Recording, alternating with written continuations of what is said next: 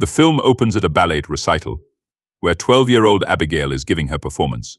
She is being watched by three criminals. Three others outside a hacker, a sniper, and a getaway driver wait on them for orders. When Abigail is finished, the three inside abduct her and haul her off into the van. They make their way through the streets undetected before reaching a mansion.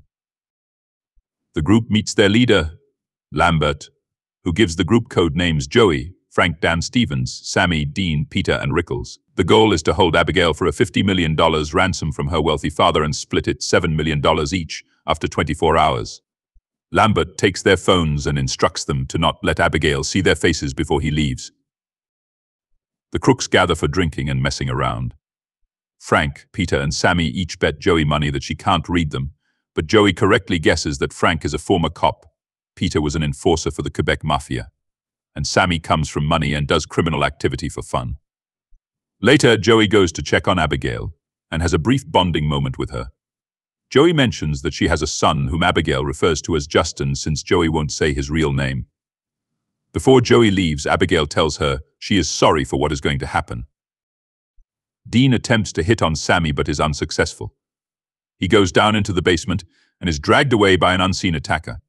Sammy hears his scream and goes to investigate, then finds Dean's head fall off his body. The others find the corpse and begin to freak out. Frank accidentally stumbles into Abigail's room where she sees his face. He holds his gun at her and demands to know who her father is. Abigail says it is Christophe Lazar, which fills Frank with dread as Lazar is a notorious underworld criminal figure. In Frank's cop career, he ended up on a job against Lazar that got four of his teammates killed by someone they believed to be Lazar's hitman, Valdez. Joey and Rickles privately discuss the possibility that Frank is Valdez and is trying to take out the group on his own to get the ransom money. As they try to find a way out of the mansion, Rickles is mauled to death by the same attacker. Frank then tells Peter they should just kill Abigail, but Joey steps in to stop him. They enter her room, where Abigail reveals herself to be a centuries-old vampire she was always Valdez. She lunges for the group, but they manage to escape the room. The group then starts trying to figure out how to deal with a vampire of this nature. They go for the basic tropes garlic cloves, crosses, silver bullets, and stakes. They try to ambush Abigail, who is dancing with Dean's corpse. Abigail gets Peter's cross necklace and starts stabbing him with it. Sammy's attempt to use garlic also fails, and she gets bitten by Abigail before falling into a pool of bodies of Abigail's previous victims. Joey eventually manages to bring Abigail down by using the same tranquilizer they used on her when they were kidnapping her. They end up locking her in a cage. When Abigail wakes up, Frank tries to threaten her. But Abigail begins to read each of the group and gives their real names. Sammy's real name is Jessica, and she stole from her parents before running away. Peter's real name is Terence, and she also brings up his past as a dumb brute for the mafia. Frank is named Adam, and he was actually working for Abigail's father before she killed them and left their mutilated bodies for Frank to find. Lastly, Joey is really named Anna Lucia, who was a former army medic before her morphine addiction, caused her to accidentally nick an artery of a major crime figure, which is how Abigail and her father came to learn about her, and also what caused Joey to lose custody of her son. The others all had connections to Lazar and were specifically targeted by him and brought to Abigail as food by Lambert.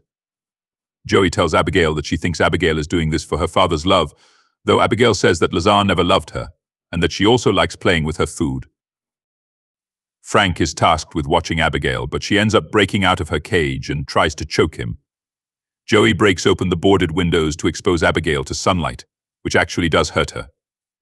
The group splits up to find a way out, but Sammy's vampirism takes over and Abigail begins controlling her like a puppet. She ends up killing Peter and sucks his blood out. Before she can go for Joey and Frank, Joey reflects sunlight towards Sammy, causing her to explode into bloody chunks. Joey and Frank go looking for a way to disable the mansion's security, but they end up finding a control room with Lambert inside. He reveals that he is also a vampire and admits to having brought the criminals there to be fed to Abigail, and that there was never going to be any money. Lambert offers Frank a chance to join them by turning him into a vampire as well, so they can take out Lazar and Abigail. Frank accepts and gets bitten, then stakes Lambert and blows him up moments later. Frank then goes after Joey and Abigail with the intention of taking over Lazar's empire. Abigail fights Frank, but he ends up drinking some of her blood, which makes him stronger. Frank then bites Joey and intends to turn her as well, but she resists his attempts to control her. Abigail tells Joey that she can be freed by killing the vampire that bit her, so they work together to overpower Frank and stake him, causing him to burst and quickly curing Joey. Night falls, and Joey prepares to leave until she comes face to face with Lazar himself. He tells Joey that he has gone by many names, and you can probably guess what his most famous one is. He prepares to kill Joey until Abigail steps in and tells Lazar that Joey helped save her from Frank. With this, Lazar and Abigail let Joey live and go after her son, whom Abigail knows is named Caleb. Joey gets in a van and drives away to go find Caleb.